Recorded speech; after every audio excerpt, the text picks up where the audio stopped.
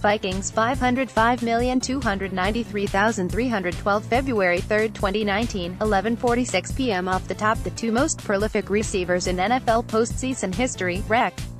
Yards TD Jerry Rice 151 2245 22 Julian Edelman 115 1412 5